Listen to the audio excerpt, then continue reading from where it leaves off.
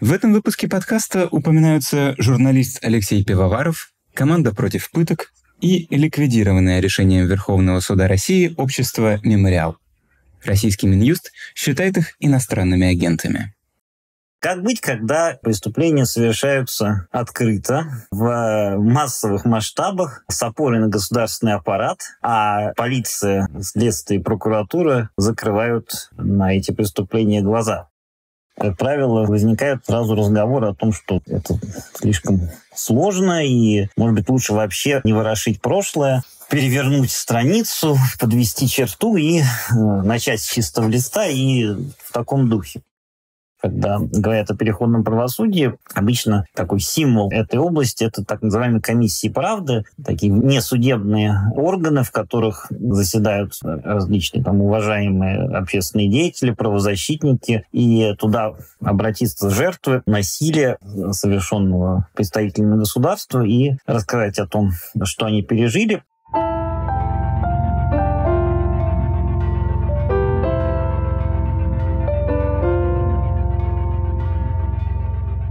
Всем привет! Это подкаст «Совещательная комната», и здесь мы его ведущие. Я журналист Зоя Светова. И я журналист Вера Челищева. И сегодня наш гость Николай Бобринский, юрист, э, магистр юриспруденции, как написано э, в, одно, в одной из публикаций. Да, э, Николай Бобринский, кроме того, автор нескольких работ о переходном правосудии в России и в других странах. И вот сегодня мы как раз хотим поговорить поговорить о том, что же такое переходное правосудие. И почему вообще мы хотим об этом поговорить, спросите вы. А, я попробую сейчас объяснить. Дело в том, что мы сейчас живем в такое время, когда мы все время думаем о будущем. То есть мы живем настоящем, э, не загадываем вперед, но тем не менее все равно думаем о том, что будет, когда тот период э, в жизни нашей страны, который многим из нас не нравится, и мы хотим, чтобы многое изменилось, и в частности частности, когда речь идет о правосудии, а, я думаю, что мало вообще в России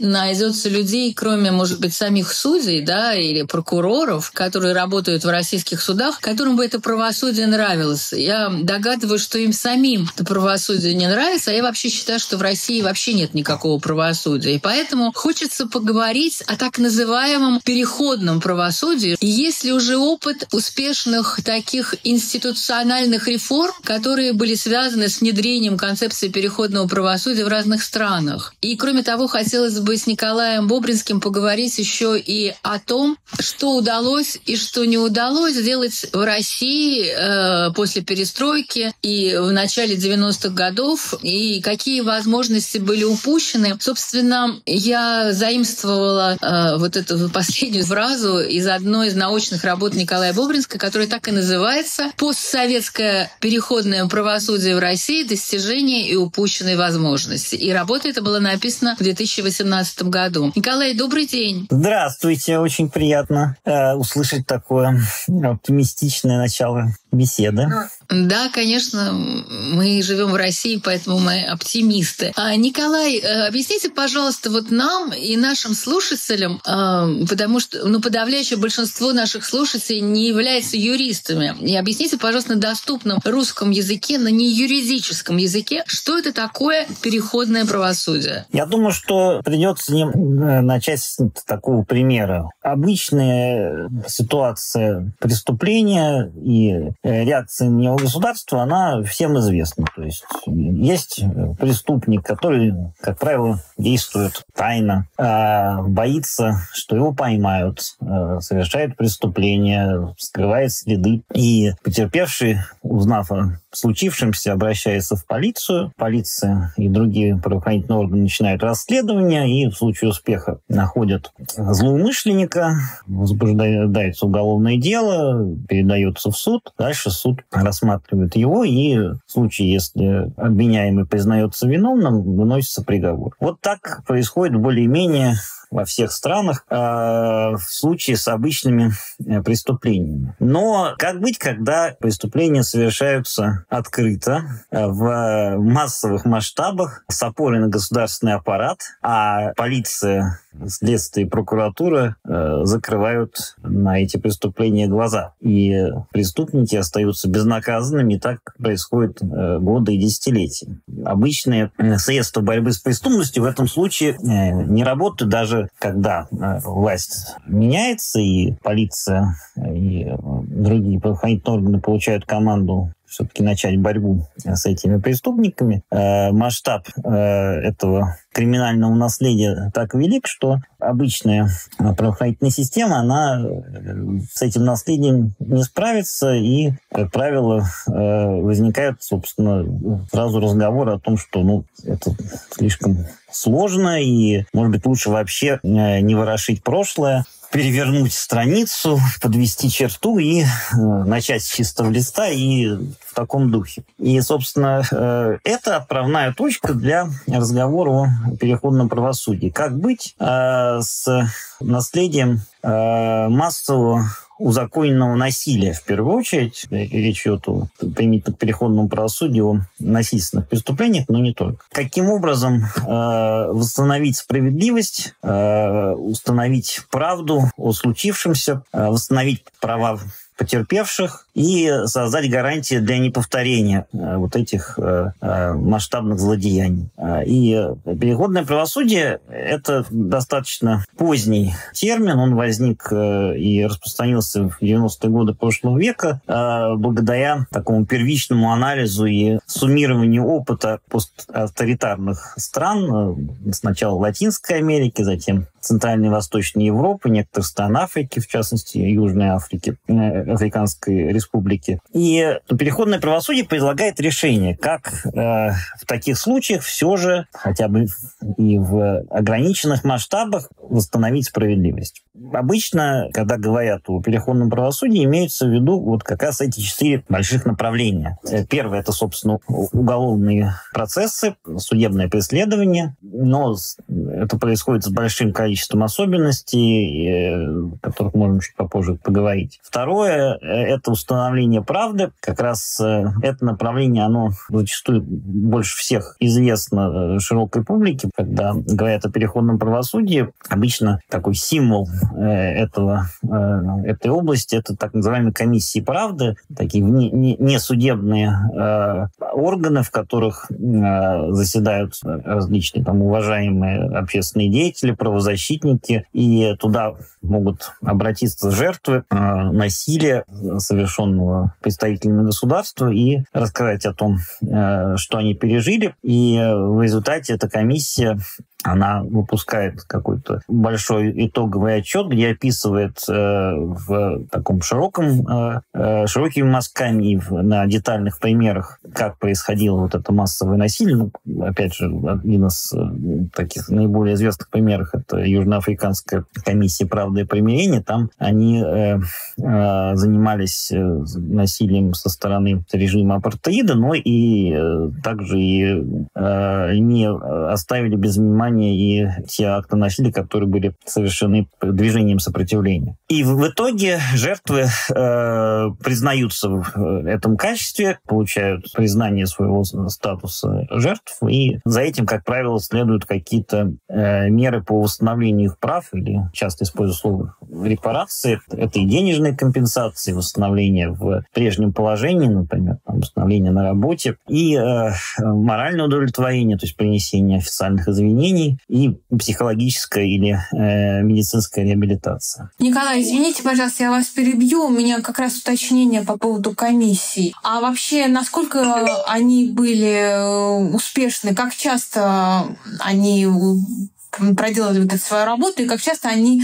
приходили к успехам, вот эти комиссии. Ну, тут сложно, сложно вообще говорить о успехе в таком деле. Это все делается не от хорошей жизни. Я скажу сразу, э, отвечу на первую часть вопроса. Это достаточно распространенное явление. Э, на мой взгляд, сейчас вот уже существенно больше, больше чем в 20 странах работали такие комиссии, которые э, занимались именно установлением фактов о массовом государственном насилии или же насилии в контексте внутригосударственных кон- гражданских конфликтов. Вот. То есть это достаточно широко распространенное явление, которое э, всячески сейчас ну, рекомендуется для подобной ситуации со стороны Организации Объединенных Наций. Но э, об успехе можно говорить в э, каком смысле? Это лучше, чем ничего, безусловно, потому что э, альтернатива этому – это забвение. Э, то есть не то, что там э, есть что-то лучшее. То есть можно рассуждать о том, что э, эти комиссии, они в каком-то смысле э, ведут к безнаказанности, потому что, да, э, значит, они допрашивают э, участников вот этого насилия, но никакого суда над ними не совершается. Они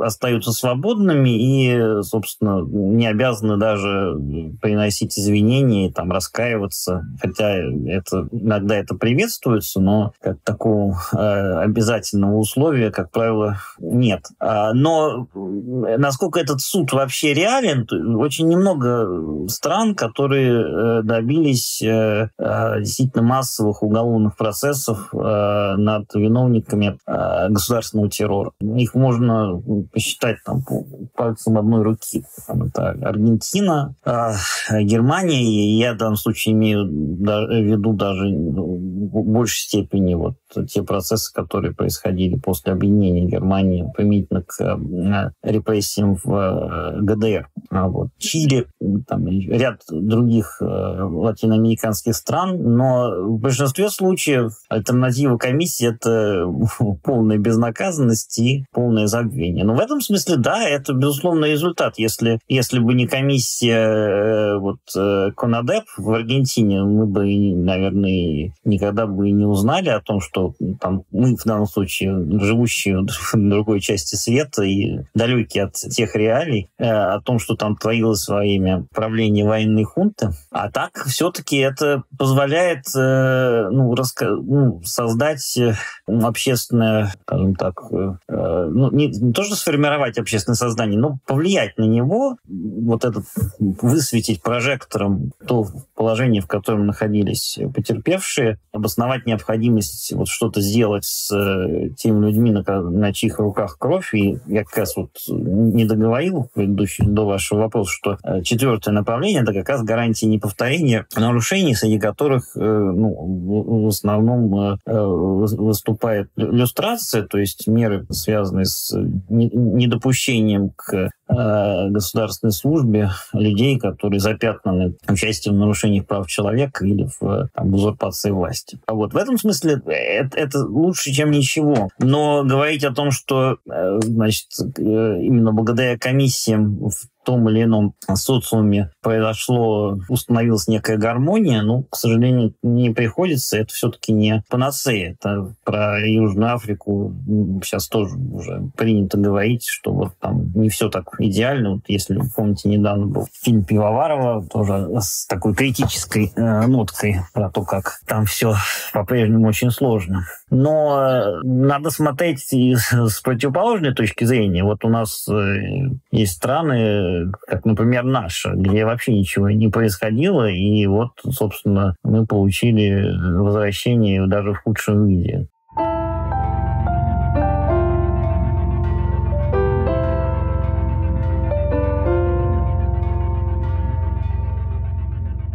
Подождите, не забегайте вперед, Николай. Во-первых, надо сказать, что Пивоваров, э, Алексей Пивоваров, да, это иностранный агент, о фильме которого вы говорили. И я хотела вот продолжить э, то, что говорила Вера. Я почитала ваш доклад, вернее, доклад одним из авторов, которого вы были, это «Между местью и забвением». Да, это очень точное, мне кажется, название, потому что вот те, которые люди, да, которые создают эти комиссии, которые хотят, мечтают, да, как каком-то суде над виновниками нарушения прав человека. Это своего рода, в общем-то, они движимы местью, да, ну и справедливостью и местью. Но, с другой стороны, это альтернатива между забвением, да, забвением, между каким-то судом и забвением. Я бы а с вами вот... поспорил насчет мести. Да. Все-таки месть ну. это, скажем, очень личное чувство. Ну, зачастую главными вот проводниками переходного правосудия выступают э, люди сами-то и не особо пострадавшие. Ну вот, опять же, если брать пример э, той же Южной Африки, там главный деятель этих комиссий это епископ англиканской церкви Десмонд Туту. Я могу ошибаться, но если я правильно понимаю, он хотя и относился к угнетаемой группе, но сам лично там, не пострадал. То есть идея справедливости, на мой взгляд, она такая более общая, которая невозможно закрывать глаза на зло, которое творится э, вот вокруг э, и касается твоих ну, членов твоего сообщества. Да, но вы же назвали этот доклад между местью и забвением. Мы как раз говорим в этом заголовке, что надо бы как-то вот э, посередине. А потому что месть это когда вот когда после геноцида армян, э, э значит, армяне устроили вот так называемую операцию Немезида и э, расправились над несколькими турецкими деятелями, которых считали виновными э, в геноциде. Вот, да. Да, но это тонкий лед. Давайте не будем его затрагивать. А я хотела вернуться к, к этому же докладу. Вы там говорите и разбираете ситуацию с преступлениями коммунистического тоталитарного режима, то есть вы говорите о сталинских репрессиях, и известно, что после смерти Сталина и на 20-м съезде они были названы, эти репрессии были названы преступлениями, но в дальнейшем ничего ни в Советском Союзе, да, и в России ничего не произошло. То есть, как вы сказали, что судебные процессы почти не бывают, да, не было никаких судебных процессов против виновных в сталинских репрессиях, если только не брать то, что многие из тех, кто сами творили репрессии, были репрессированы э, в сталинское время. Но можете ли вы объяснить, почему новая Россия не решилась на это, да, на то, чтобы окончательно как бы расквитаться вот с этими сталинскими репрессиями? Ну, во-первых, все-таки речь идет не только о сталинских репрессиях. Террор начался буквально с первых дней э, большевистского переворота. А вот, uh-huh. И, собственно, наиболее интенсивная его часть относится к периоду гражданской войны.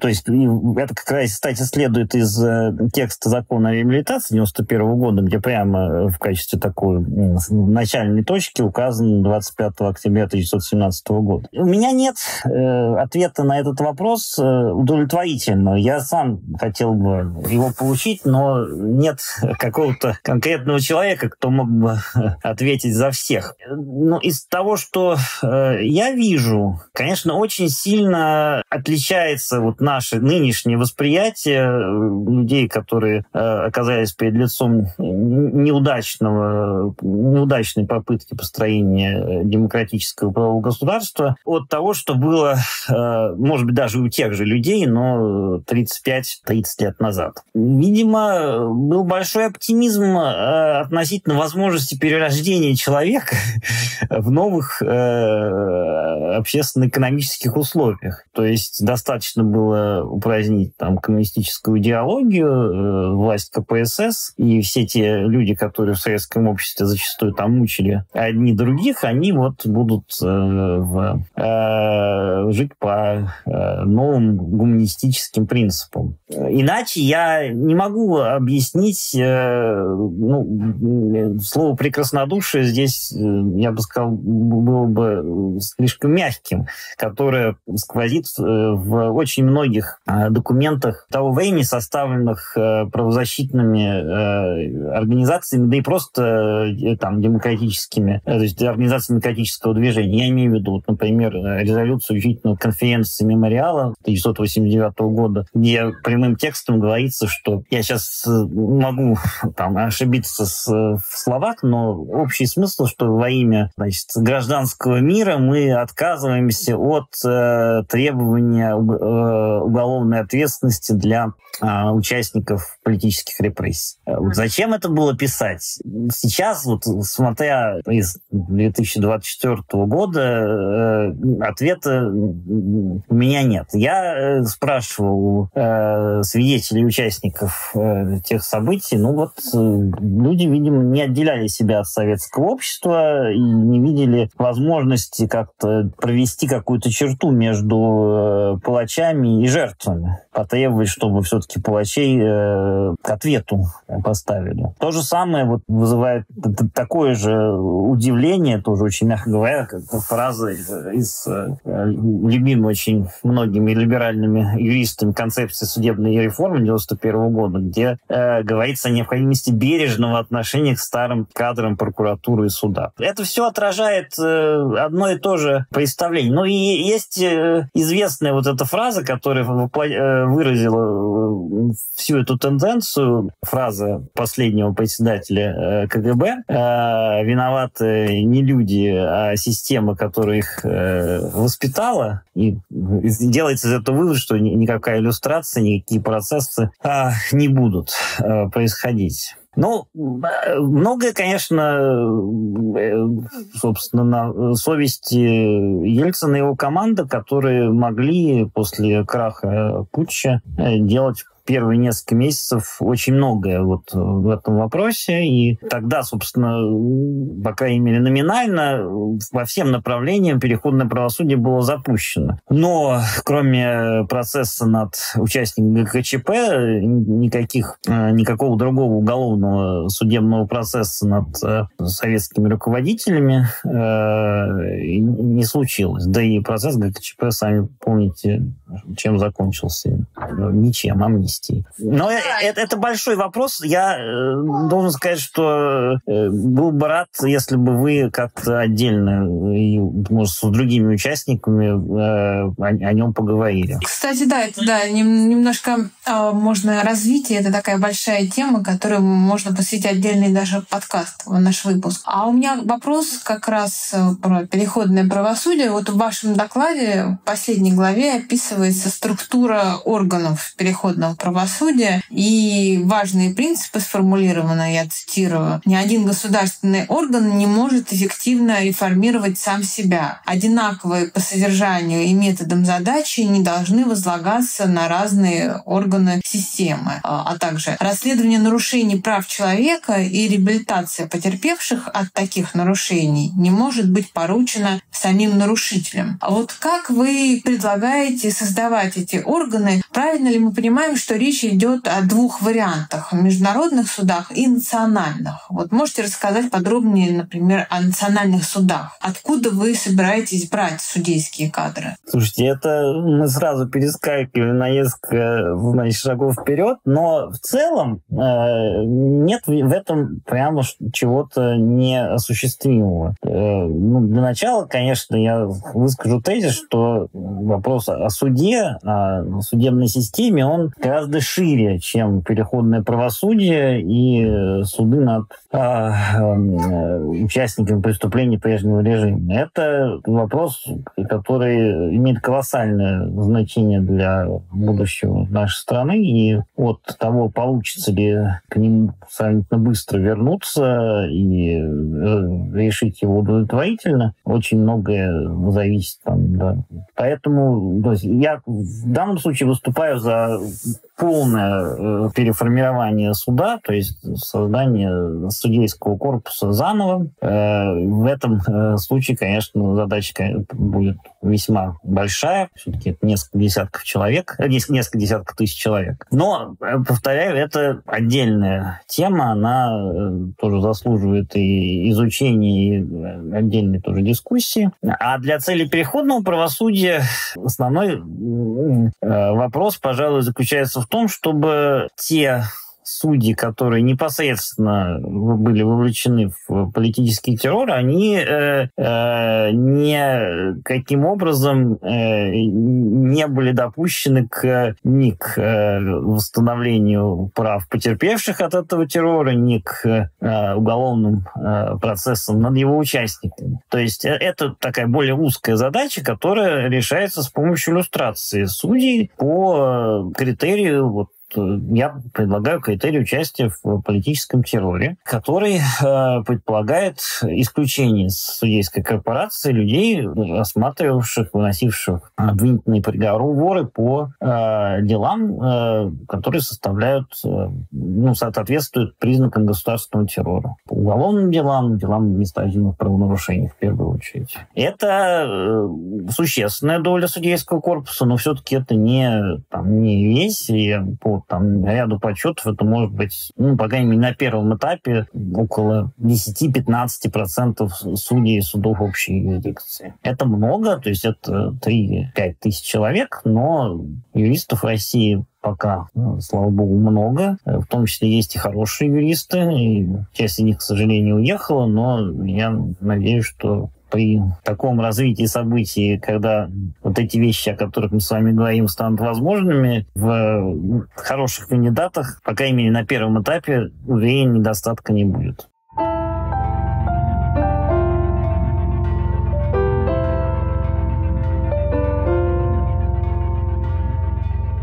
Но вот вы как раз в своей работе, да, э, я ее, честно скажу, не читала, но само название, ну, название говорит само за себя, это советское переходное правосудие, достижение упущенной возможности правосудия в России. Но речь идет, конечно, о судебной, так называемой судебной реформе, о концепции судебной реформы, которая была принята в 1991 году. И я напомню нашим слушателям, что достоинствами этой судебной реформы эксперты считают то, что в России появился так называемый состязательный процесс, а появился суд присяжных, была несменяемость судей, но это довольно быстро все закончилось. В начале 2000-х годов произошла контрреформа, и, в общем-то, сейчас мы, люди, которые занимаемся вот судебными темами, да, журналисты, которые очень много работают, как судебные репортеры, вот как Вера, как я, и мы можем, мне кажется, свидетельствовать о том, что вот эта система просто превратилась в тыкву, а ваши коллеги из команды «Против пыток», они написали такую книгу, которая, да, это команда, признанная иноагентом, команда против пыток, у них книга называется «Анатомия распада». И вот они говорят о том, что судебная российская система, она полностью распалась. Но вы можете сказать, ну, одна из главных ошибок, я так понимаю, это отсутствие иллюстрации, да, судей и прокуроров. Но какие еще были упущенные возможности? Почему тогда не получилось? И почему вы уверены, что получится в другой раз? Я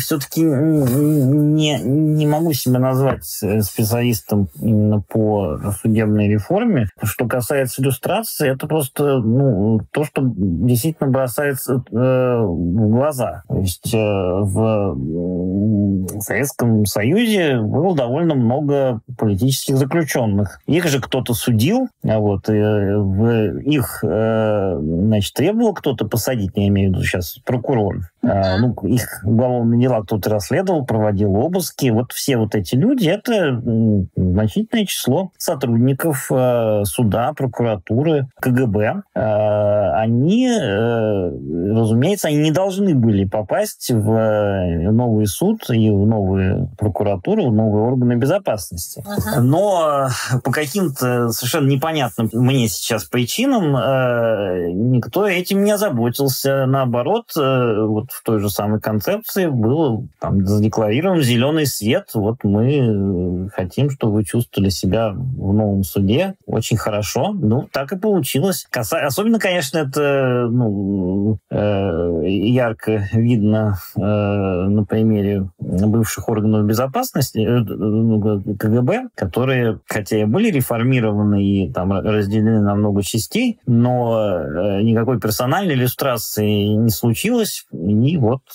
все это, все они вернулись. Точнее, не то, что они вернулись, многие продолжали работать без э, перерыва. Это одна из не, одно из необъяснимых э, значит, явлений э, того времени, которое, конечно, некоторых наблюдателей заставляет подозревать, э, что вся перестройка и последующие события были большим заговором КГБ. Я не сильно э, не, не верю в, в такую теорию, но степень толерантности к, к сотрудникам карательной структуры коммунистического режима, она совершенно беспрецедентна. Я так понимаю, что отчасти это было связано с политическими обстоятельствами того времени. Бывших сотрудников КГБ рассматривали в качестве лояльных новой власти, в отличие от э, бывших э, функционеров КПСС, которые казались главной угрозой тогда, вот в 90-е годы. Поэтому с первыми можно было сотрудничать, закрыв, закрыв глаза на их прежние прегрешения, а вот э, зато вторых можно было как-то держать в узде. Ну, в результате э, известно, что случилось. Ну, то есть получается, что главная, вот, главная фишка, да, если можно так сказать, этого переходного правосудия, ну, его как бы, да, окончательном, когда мы уже, у вас там много-много разных этапов, да, вот эти комиссии, потом еще какие-то этапы, и в конце концов нас-то интересует, как бы, чем, чем сердце успокоится, чем закончится, какими судами вами, что главное — это иллюстрация. А если у вас а, уверенность, что те люди, которые придут на смену, вы говорите очень много юристов, да, но вот те люди, которые придут на смену этим судьям и прокурорам, что они будут те самые настоящие справедливые судьи и прокуроры. Какая, откуда, от, какая уверенность у вас есть? Ну, во-первых, все-таки главное, на мой взгляд, это не иллюстрация и не даже не, не уголовные суды, а восстановление прав жертв. Это э, все-таки самое важное, то, без чего точно обойтись нельзя, и в отношении чего я сравнительно оптимистичен, потому что это вещь, которая, э, ну, скорее всего, станет приемлемой для, э, ну, если не любых э, следующих правителей, то для очень многих э, вариантов, в том числе и тех, которые сейчас воспринимаются в качестве верных путинистов. То есть э, у нас э, все же масштаб государственного террора довольно велик. Это десятки тысяч, если не сотни э, потерпевших. Вот. И э, восстановить их э, в нарушенных правах, извиниться перед ними, выплатить им э, какие-то справедливые компенсации, это задача первой необходимости. Но что касается вот э, вашего вопроса насчет гарантии, что э, новые суды будут лучше прежних, я э, думаю, что это гарантия здесь может быть только в том, чтобы туда пришли люди, ну, по-хорошему амбициозные, которые э, действительно, э, для которых важно право, и им интересно э, видеть себя вот в этой роли. То есть сейчас,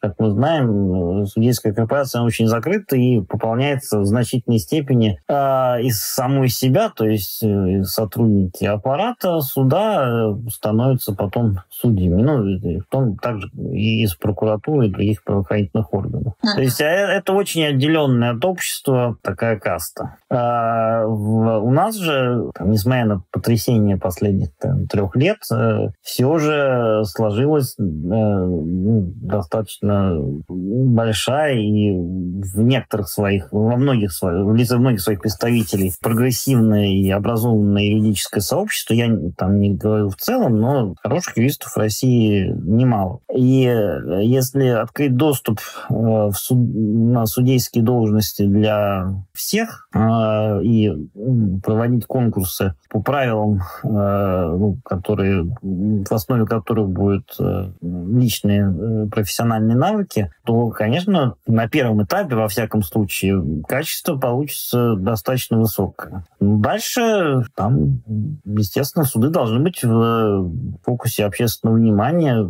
Это должно быть очень важный, важным институтом, за деятельностью которого общество должно тщательно следить, следить как было в революционной России, где это была, пожалуй, там одна из главных общественных трибун. И я думаю, что дело пойдет. Тут э, важно еще убрать, конечно, вот это давление э, значит, органов безопасности, которые сейчас э, для судей выступают в роли таких негласных скажем так, цензоров. Куратор. Да, кураторов. Вот это вот очень важная вещь, которая быть не должно. Понятно, что полной гарантии того, что э, сама, сам прилив свежей крови э, не приведет к каким-то коррупционным или иным там э, преступным эксцессам, естественно, это тоже возможно, но э, если э, суд будет э, жить как сейчас под постоянным э, надзором со стороны э, ФСБ с риском, что стоит тебе вынести там, оправдательный приговор, как ты получишь про антикоррупционную проверку, э, это, конечно, на таких началах хороший независимый суд не построишь. Да, но тем не менее, мне кажется, что мы заканчиваем на такой оптимистичной ноте, когда Николай сказал, что есть, и мы с Зоей действительно это подтвердим, и многие, потому что есть замечательные юристы, которые остались, и которые уехали, а, которые могут стать профессиональными, независимыми и очень объективными судьями. Но мы вынуждены заканчивать, и мы обязательно об этом еще будем говорить и в том числе с участием Николая, я думаю. Сегодня мы только начали этот разговор на одну из э, важнейших и, пожалуй, сложнейших тем, связанных как раз с переходным правосудием. И мы говорили с магистром юриспруденции, практикующим юристом Николаем Бобринским. Мы попробовали пока только понять, что же это такое переходное правосудие, правосудие, как оно применялось, как его можно применять, как оно применялось, главное, в других странах, и что из себя представляет система органов переходного а, правосудия, возможно ли их создать, из кого, и как раз вот мы говорили о том, что есть такие юристы, Николай об этом сказал сегодня, которые могут стать судьями независимыми. Спасибо большое. Мы обязательно продолжим эту тему, а вы слушайте наш подкаст «Совещательная комната» на YouTube, на Apple Podcast. Ставьте лайки и пишите комментарии связи. Всем пока!